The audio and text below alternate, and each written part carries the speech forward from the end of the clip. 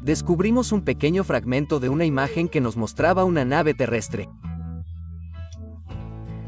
Y Paul dijo, eso es lo que quiero hacer. Hola, soy Paul y ella es Pat. Ven a hacer un recorrido por nuestra nave terrestre.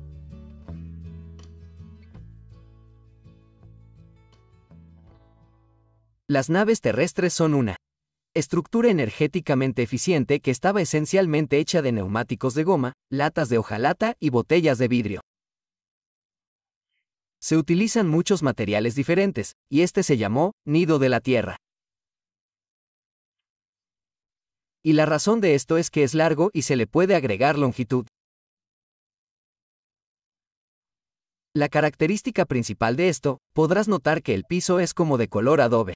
Bueno, ese color en realidad está en el concreto, y eso fue intencional porque los colores oscuros absorben más calor. Lo mismo en las paredes. Puedes notar que son de un color más oscuro. Y cuando el sol entra en esa pared, con el neumático dentro está adobe. Y pueden ver aquí el borde exterior del neumático. Y esto se revoca con revoques de barro natural. Así se crea una especie de lugar para que el calor se absorba durante el día. Y por la noche, ese calor simplemente se irradia hacia la habitación. Así la habitación se mantiene más cálida hasta bien entrada la noche. Aquí tenemos ventanas térmicas para conservar el calor y no perder tanto. Hoy en día fabrican ventanas de vidrio térmicas bastante eficientes. Y esta característica es buena. Se llaman ventanas de pared. Y es una tela que tiene muchas capas, y tienen una capa de aluminio y algunas capas de milar, que reflejan el calor. En realidad, el calor que entra en la habitación golpearía esa cortina y rebotaría en la habitación. Evitaría que el calor atravesara y saliera por el cristal. El aislamiento anterior es R50, que no deberán omitir cuando realicen trabajo solar pasivo. Bienvenidos a nuestra casa. Esta es la sala de estar donde generalmente suceden las cosas. Tenemos una zona blanda. En esto tuve ayuda. Tenía un hombre que sabía cómo construir chimeneas y definitivamente hay que hacerlo correctamente, de lo contrario no tiene suficiente tiro. Tener un fuego al final del día y hacía frío y sentarse y tomar una copa de vino y un buen libro. Y muestra algo de desgaste con el paso de los años. Pero eso no me preocupa demasiado. En cierto modo se suma al personaje. Forjado a mano, lo cual me encanta, cosas forjadas a mano, hierro que fue hecho para mí para sostener leños para el fuego. La habitación en sí y las paredes tardaron dos meses y medio en empezar. Tuvimos mucha gente que nos ayudó. Y a partir de ahí, hubo más enyesado porque había que rellenar los huecos entre los neumáticos porque estaban horizontales. Este diseño de la pared trasera sucedió debido a la aeronave. Las paredes comenzaron a doblarse un poco después de años de estar allí porque son neumáticos de goma y terminarán sentados y comprimiéndose un poco. Y decidí agregar esta escena de paisaje tipo mosaico en la base.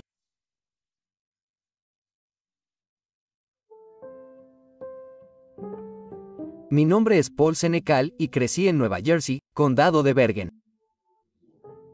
Y eso fue hace mucho tiempo. Entré en la infantería de Marina, pasé seis años allí y luego me mudé a California. Pat y yo nos conocimos más tarde. Decidimos mudarnos de California después de haber estado allí durante 30 años para mudarnos aquí y comenzar otra vida.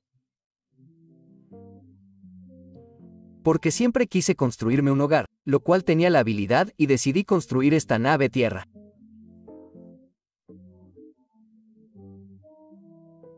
Entonces mi esposa tiene una historia diferente a la mía, así que podría contarte sobre ella. Su viaje.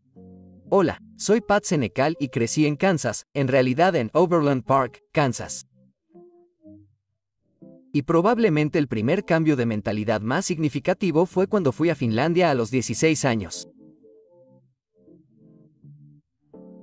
Cambió toda mi visión del mundo de lo que era posible. Así que fui al este a la escuela, me casé, tuve un par de hijos, viví en los suburbios y luego tuve la oportunidad, debido al desastre de los años 60, como todos recordaremos, me uní a una comunidad intencional, típico de los años 70, y después de eso, conocí a Paul.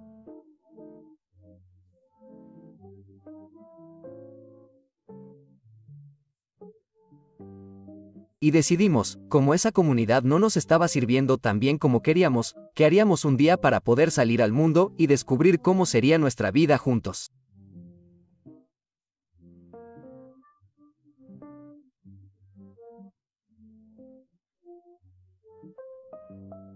Fue entonces cuando descubrimos los tableros de visión. Y en el visionado, descubrimos un pequeño fragmento de una imagen que nos mostraba una nave terrestre. Y Paul dijo, eso es lo que quiero hacer.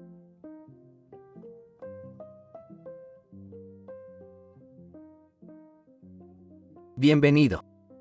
Sí, quería hablar sobre esta pequeña unidad aquí. Construí esto porque tenemos una casa muy pequeña, así que necesitábamos tener algo que funcionara. Pero tiene dos caras. Este tiene cajones pequeños porque la cabina de aquí ocupa la mayor parte del espacio, y lo hace porque tenemos ollas, sartenes y cosas utilizables de este lado.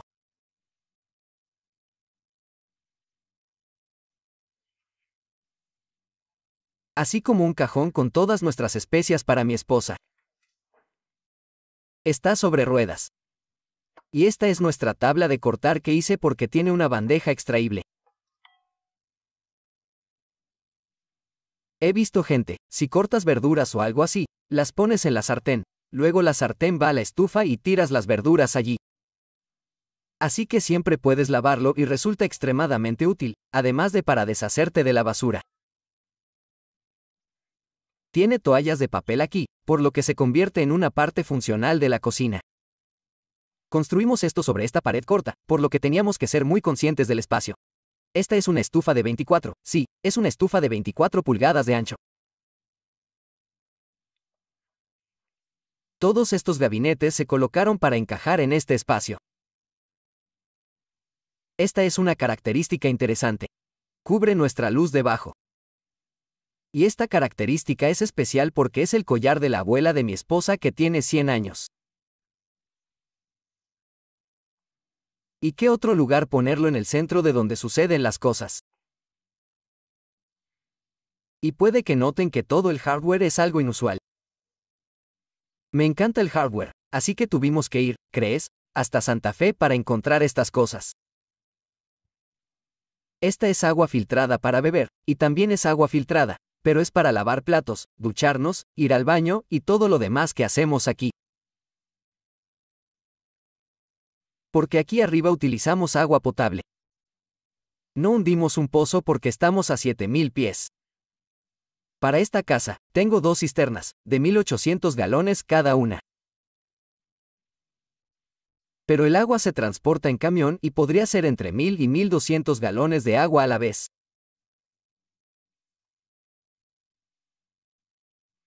Somos muy frugales en lo que respecta al uso del agua.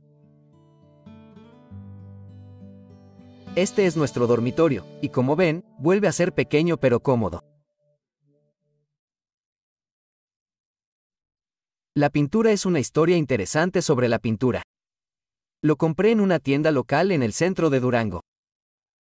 No quería comprarlo al instante, pero esperé un año, volví y tuve las mismas emociones, así que decidí comprarlo. Cayendo hacia la cabecera, las características interesantes son que esa cabecera está hecha de una puerta de 3 pies de ancho a 6 pies y 8 pulgadas, una puerta usada que puede conseguir a un precio muy económico.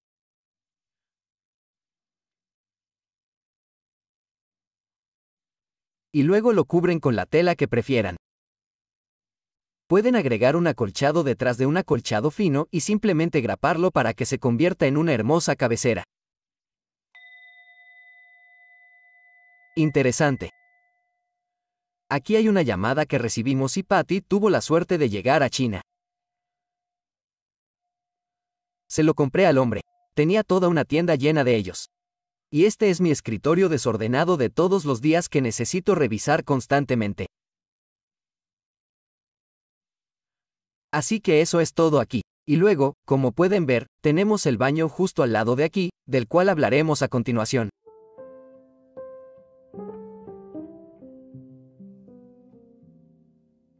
Solo estamos revisando lo que realmente cuestan las cosas en esta casa, de manera realista, porque mantuve muchos registros de todo a lo largo de los años.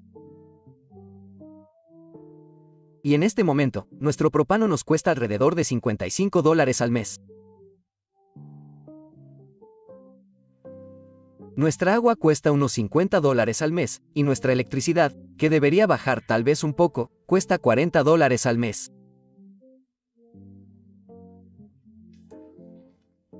El terreno, tenemos 5 acres y medio, y pagué, y esto fue en el 90, supongo que en el 96, 97, cuando lo compramos, costaba 42.500 dólares.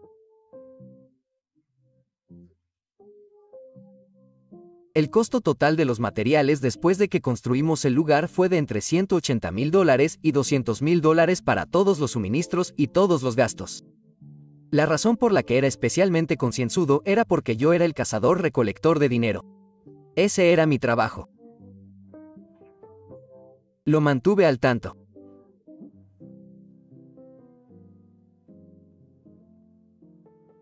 Como puedes ver, ahora estamos en el baño de la nave terrestre. Son paredes. De hecho, ahora mismo estamos justo contra la Tierra con estos muros. Cuando construyes una curva en una nave terrestre, el tamaño de los neumáticos debe ser el mismo. Utilizo neumáticos con llantas de 15 pulgadas de diámetro. Pero cuando llegas a una esquina, tienes que subir a otro tamaño. Tienes que subir a neumáticos de 16 o 17 pulgadas porque una curva requiere una distancia más larga para recorrer LA. Por lo tanto, necesitas que los neumáticos alcancen esa distancia y aún se toquen entre sí para construir una curva. Se trata de un material de superficie sólida curva que se fabricó a medida para encajar en esta curva. Y el mosaico en la parte posterior era un mosaico estándar que puedes comprar, pero muestra mejor su color cuando hay luz sobre él. Los gabinetes eran los mismos que los de la cocina. Eran cajas que monté yo. Llegaron las puertas. Tuvimos que mancharlo todo. Se hicieron las cajas. Vienen en piezas y hay que montarlas. Y lo mismo que este gabinete, que es un gabinete alto, que contiene muchas de nuestras cosas de baño. Ha quedado un baño muy cómodo. Tiene un tragaluz justo encima, que podemos ventilar. En realidad, en el baño tenemos una cabina de ducha, que está justo aquí, y tenemos un inodoro más abajo. Es un pequeño y viejo nicho para el baño. Odio tener inodoros justo al lado de tu tocador, porque como en la mayoría de estos baños, baños comerciales que construyen, ponen inodoros justo encima de donde quieres lavarte la cara y cepillarte los dientes y yo, ya sabes, dejo que alguien más hazlo. Lo quiero lejos de aquí. Y ese es el baño. Quiero decir, es bastante pequeño, debe todas las características. Así que no podemos prescindir de vivir fuera de la red. Esta es la sala de arte de mi esposa. Tiene estos gabinetes cubiertos con fotografías de la familia y de nuestros viajes a lo largo de los años. Esto es bastante acogedor, pero les proporciona todo lo que necesitan. Pueden hacer obras de arte aquí y tomar una siesta cuando quieran. Eso es básicamente todo. Es una especie de sala funcionalmente multifuncional y funciona muy bien.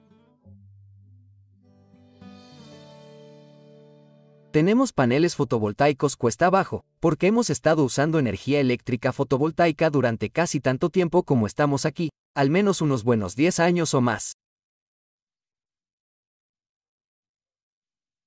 Todavía uso la energía de la red como fuente de respaldo de emergencia, porque en diferentes momentos, si las baterías están demasiado bajas y el clima está nublado, tienes que usar energía alternativa para recargarlas. Lo cual he hecho. Y en el momento en que se vuelvan a cargar, podremos apagar la red. Entonces nos vamos. Y luego sale el sol y se hace cargo. Creo que si alguien está preocupado por hacer algo diferente, simplemente tiene que lanzarse a ello. Necesitan saber que tendrán que abandonarla. Imagen de lo que creen que es normal.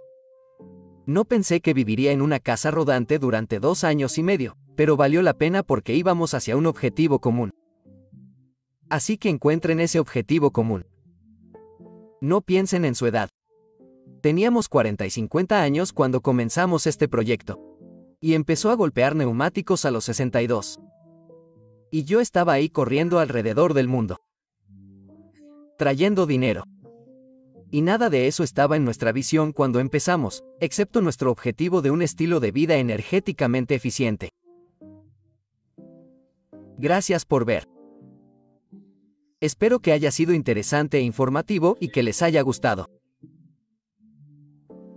Si desean ponerse en contacto con nosotros y obtener más información o simplemente realizar un seguimiento de esto, vayan a mi página de Facebook, que es Patricia Carter con C, Senecal, S-E-N-S-A-L.